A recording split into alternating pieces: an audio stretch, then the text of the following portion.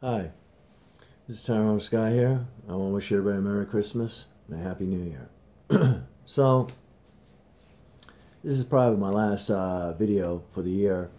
I want to thank everybody for uh, watching my uh, my videos. I know some of them are good and some of them are not. but uh, thanks for watching anyways. Um, so I want to talk about um, this gift I got from uh, my friend Laura. I really appreciated her getting me this, and she really thought it through, and I think it was amazing. So I, I really wanted to show it and show it off, really. Um, I hope she doesn't mind, but uh, we're so thoughtful of her. And you know, sometimes you have disputes over a little bit of you know argument and stuff, but we, we always everybody always we try to always work it out, and it's pretty neat when you could talk things through. That's what's the most important thing. Always try to talk things through and. Uh, have a clear mind in your head, and you know. So, but Laura's been sweet, and uh, she's a good friend, and uh, her husband's a good guy too, uh, Ryan. I like him too. He was a good guy. Went to see uh, Roy Orbison. I remember back in the day. Um, you know, the fake one, not the real one. the guy who sang like Roy Orbison, he was pretty good. That was a great time I had with them. Um, so I want to show you the box that Laura gave me. Like it says, uh, pick me first with Santa Claus. Pretty neat, huh? and now I'm going to show you what's inside that she gave me. It's pretty, pretty cool, pretty, pretty neat. And uh, I never expected this. It, it, it blew me, uh, blew me away. It's one of my favorite actors of all time. and everybody who knows me well knows what I'm talking about. Errol Flynn by Northern Pursuit. It was made in 1943 by directed by Raoul Walsh. A really good movie and is about is about uh, the war, World War II, and the uh, Nazis go there in Canada with their spies, and uh, Errol Flynn uh, hoots them out. And it's you know, it's all about snow elements and they have the dogs and the sleds and stuff like that. It's a pretty good movie. It has some good, pretty good action in it for then. But uh, it's a clean movie, that's what I enjoy. Old movies. And uh, if Errol Flynn was here today and in the movie theater, uh, movie theaters and the movies today, he mopped the floor of all these guys, and that's the guy's truth. But I know there's a lot of haters in my jobs who hate Errol Flynn. You know, I remember my friend Mick he wouldn't even watch his movie. And it's pretty sad. Um, I loaned it to him. It was The Forsyte Woman, a really good movie. I watch his uh, trash uh, movie, and uh, he wouldn't watch mine. He said he was too busy. No, you're not busy, bro. You just didn't want to watch it because you have a problem with old movies. And the problem is you've been brainwashed, like most people in the colleges. I'm sorry, am I being cruel here? No, but it's the God's truth, really. They tell you how to think and what you do. You gotta have your own mind. You gotta watch your own uh, and and do research and watch these movies because these movies are really good. These old movies, and I'm really pretty passionate about old movies. I gotta be honest with you, because they're clean. Not like Star Wars that just came out right now, and they have this girl uh, kissing scene with the girls. Um, I won't be watching that because it's against my soul. And I knew something was wrong because something was telling me inside not to go watch it. The last two. I haven't watched eight and I'm not watching nine at all. Um, it's their loss and I really don't care if they make a lot of money. But at least my soul uh, stands for something.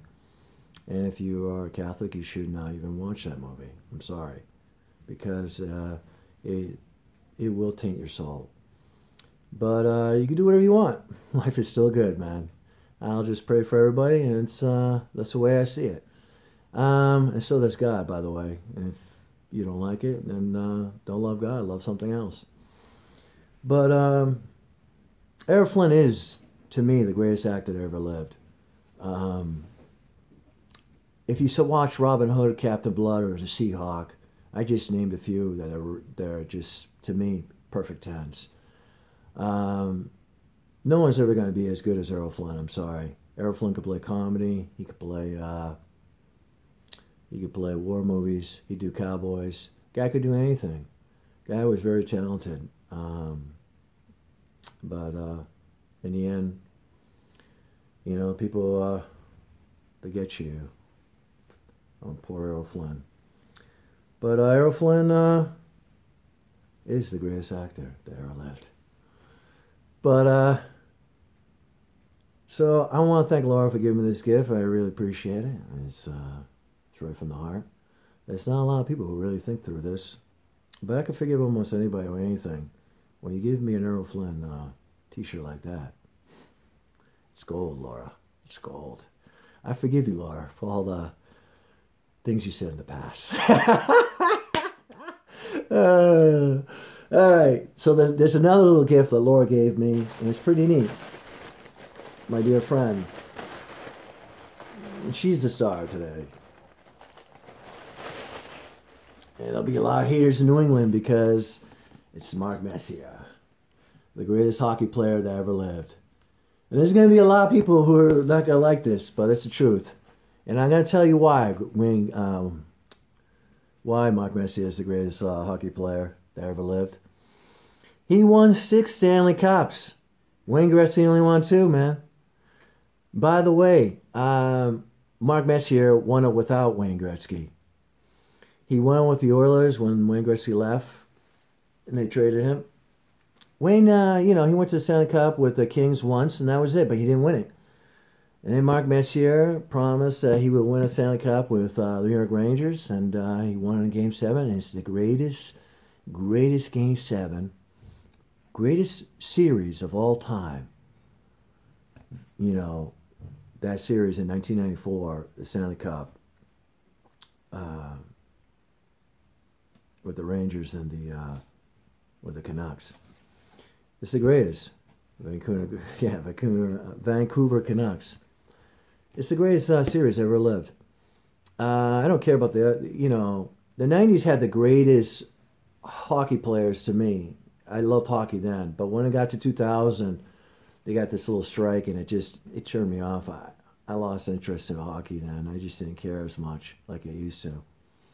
And uh, I know there's a lot of people who are Bruin fans. I'm not a Bruin fan. I actually love the Hartford Whalers, and they left. They took them away, the owner. I never liked the color of the Bruins. I'm sorry. I know there's people are going to hate me now because I don't like the Bruins either. But, you know, it's too bad. Well, like I said, Wayne Gretzky's the greatest uh, hockey player ever lived. And I hope you enjoy this little video of me talking about my little gifts that I got from Laura. And enjoy.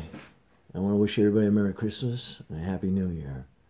And uh, keep praying the rosary and uh, learn your uh, Catholic faith. And God bless you all. Have a good night and a good day.